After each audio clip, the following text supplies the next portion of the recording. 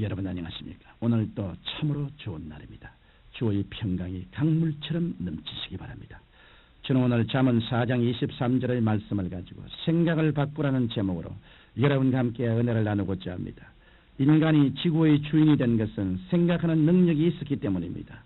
인간은 생각하는 능력으로 오늘날과 같은 과학 만능의 시대를 만들었습니다. 물론 인간의 생각으로 인류 파멸의 위기로 초래되었지만 인간의 생각의 능력으로 말미암아 문명의 이기도 많이 누리고 있는 것입니다. 이러므로 우리가 생각을 올바로 개발하기만 하면 우리는 발전하고 향상하며 행복을 누릴 수 있습니다.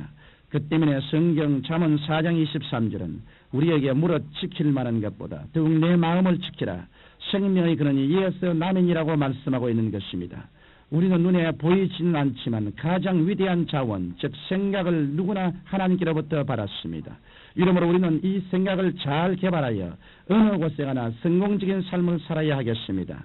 그러면 우리는 우리의 생각을 어떻게 개발해야 할까요? 첫째로 우리는 우리의 생각을 긍정적인 생각으로 개발해야 합니다. 긍정적인 생각이란 희망의 생각을 말합니다. 오늘날 대다수의 사람들은 부정적인 생각을 가지고 있습니다. 그래서 그들은 밝은 면보다는 언제나 어두운 방향으로 생각하고 마음의 절망감을 느끼며 부정적인 말을 하고 부정적인 행동을 하고 있는 것입니다.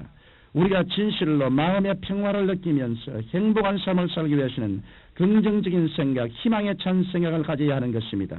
그런데 우리 그리스도인들은 얼마든지 긍정적인 생각을 가질 수 있습니다. 왜냐하면 그리스도인들에게는 예수님의 십자가의 은총이 따르기 때문입니다. 우리 그리스도인은 죄 용서에 대한 긍정적인 생각을 가질 수 있습니다. 우리는 비록 죄와 허물로 영원히 버림을 받아야 마땅할 존재이지만 예수님께서 십자가에서 우리의 과거, 현재, 미래의 모든 죄를 다 청산해 주셨기 때문에 예수님의 보혈의 공로를 통해서 하나님 앞에서 이롭다함을 얻고 희망찬 삶을 살 수 있는 것입니다. 또한 우리는 우리의 신념에 대해 긍정적인 생각을 가질 수 있습니다. 우리 그리스도인들은 성령을 통해 내게 능력 주시는 자 안에서 내가 모든 일을 할 수 있느니라고 외치면서 능력 있는 삶을 살 수 있는 것입니다. 나아가서 우리는 건강에 대해 긍정적인 생각을 가질 수 있습니다. 예수님께서는 우리의 연약한 것을 친히 담당하셨으며 채찍에 맞으심으로 우리의 질병을 청산하셨습니다. 이 때문에 우리는 주님 안에서 건강과 치료를 받을 수 있는 것입니다. 뿐만 아니라 우리는 축복에 대해 긍정적인 생각을 가질 수 있습니다. 예수님께서는 저주의 상징인 가시면류관을 쓰시고 나무 십자가에 못 박여 피 흘리심으로 우리의 저주를 속량하시고 아브라함의 축복을 우리에게 허락하신 것입니다. 이러므로 우리는 예수 안에서 아브라함의 축복을 누릴 수 있다는 긍정적인 생각을 가질 수 있습니다. 또한 우리는 죽음에 대해서도 긍정적인 생각을 가질 수 있습니다.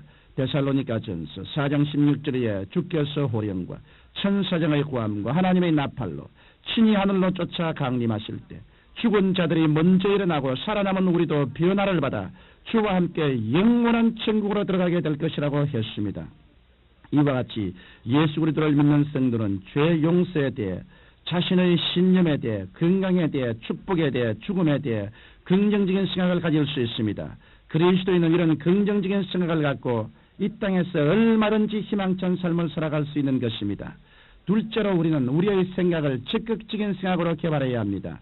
적극적인 생각은 할 수 있다는 생각입니다. 매사에 소극적이 되어 나는 할 수 없어, 나는 안 돼, 나는 절망이하고 생각하는 사람은 불행한 삶을 살 수밖에 없습니다. 예수님께서는 마가복음 9장 13절에 할 수 있거든이 무슨 말이냐?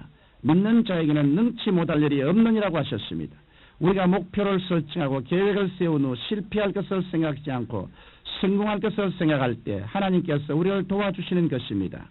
오늘날 너무나 많은 사람들이 소극적인 생각을 가지고 한두 번 실패하면 인생까지 포기해버립니다. 이처럼 소극적이고 부정적인 자세로 인생을 사는 사람은 결국 폐망하고 마는 것입니다. 아무리 환경이 거칠게 도전을 한다고 할지라도 하나님을 의지하며 적극적인 생각을 가지고 힘차게 나아가는 사람만이 운명을 변화시킬 수 있는 것입니다. 예수님께서 광야에서 오병이어의 기적을 베푸실 때 예수님의 제자 빌립과 안드레는 사고방식이 너무나 달랐습니다. 빌립은 소극적인 생각을 가진 사람이었습니다. 그래서 그는 각 사람으로 조금씩 받게 할지라도 200데나리온의 떡이 부족할 것이라고 인간적인 계산을 하며 난색을 표명했습니다. 그러나 안드레는 적극적인 생각의 소유자였습니다. 그런 예수님께서는 하나님의 아들이시기 때문에 사람들을 충분히 먹이실 수가 있다라고 적극적으로 생각하고 물고기 두 마리와 보리떡 다섯 덩어리를 예수님께 드렸던 것입니다. 그러자 예수님께서는 소극적인 생각을 가졌던 빌립과는 함께 하시지 않고 적극적인 생각을 가졌던 안드레와 함께 하셔서 오병이어로 남자만 오천 명을 배불리 먹이시고 열두 강주리가 남게 되는 기적을 베푸셨던 것입니다. 우리 인생의 삶은 광야와 같은 삶입니다. 이러므로 우리는 이 세상에서 갖가지 시련을 겪기 마련입니다. 이 때문에 우리가 이 광야와 같은 세상에서 가져야 할 생각은 적극적인 생각인 것입니다. 언제든지 부정적인 생각을 가지고 원망하고 불평하는 사람 이 세상에서 폐망할 수밖에 없지만 비록 작은 일을 한다고 할지라도 적극적인 생각을 가지고 할 수 있다는 생각으로 나아가는 사람만이 이 세상에서 승리하며 살아갈 수 있는 것입니다.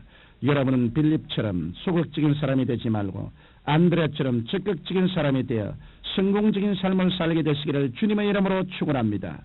셋째로 우리는 우리의 생각을 창조적인 생각으로 개발해야 합니다. 창조적인 생각은 아이디어를 찾는 생각입니다.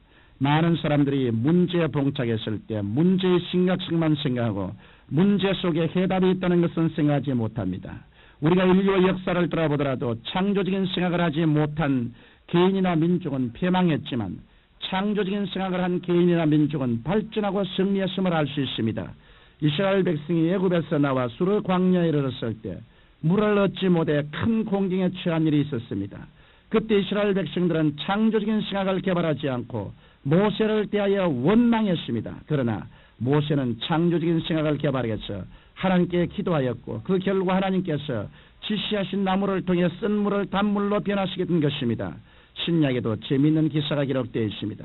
예수님께서 어느 날 가브나움에 있는 한 집에 들어가셨을 때 예수님의 소문이 퍼져 그 집은 발들여 놓을 틈도 없을 정도로 인산인해를 이루었습니다. 너무나 많은 사람이 모여 있었기 때문에 한 사람이라도 그 집의 문을 통해 들어갈 수가 없었습니다. 그러자 창조적인 생각을 가진 네 사람은 중풍병자 한 사람을 메고 지붕으로 올라가서 지붕을 뜯고 구멍을 내어서 그 구멍을 통해 중풍병자를 따라 내렸던 것입니다. 사람의 일반적인 생각으로는 도저히 그 집에 들어갈 수 없었습니다. 그러나 그들이 창조적인 생각을 개발함으로 중풍병자를 예수님 앞에 달아내렸고 그 중풍병자는 예수님께 죄사함과 더불어 병고침을 받게 되었던 것입니다. 여러분 우리는 문제 속에 해답도 있다는 사실을 알고 창조적인 생각을 개발해야 합니다. 야고보서 1장 5절에는 너희 중에 누구든지 지혜가 부족하거든 모든 사람에게 후히 주시고 꾸짖지 아니하시는 하나님께 구하라. 그리하면 주시라고 하셨습니다. 여기서 말하는 지혜가 바로 창조적인 생각입니다. 우리는 그리스도 안에서 하나님께 지혜고 창조적인 생각을 구하면서 이 세상을 승리하며 살아가야 하겠습니다. 사랑하는 청취자 여러분, 생각은 우리 눈에 안 보이는 재산이요 자원입니다. 이 눈에 안 보이는 자원인 생각을 잘 개발하는 사람은 성공적인 삶을 살 것이요. 이 자원을 마귀의 지배에 놓아두는 사람은 폐망을 초래할 수밖에 없는 것입니다. 여러분은 어떤 생각을 선택하시겠습니까? 저는 여러분 모두가 예수 그리스도 안에서 긍정적인 생각, 적극적인 생각, 창조적인 생각을 받아들이고 이 생각을 잘 개발해서 성공적인 삶을 살게 되시기를 주님의 이름으로 축원합니다. 거룩하신 아버지 하나님, 모든 사람들이 그 생각을 잘 개발해서 하나님의 영광으로 충만한 그릇이 되게 하여 주옵소서. 예수님 이름으로 기도합니다. 아멘.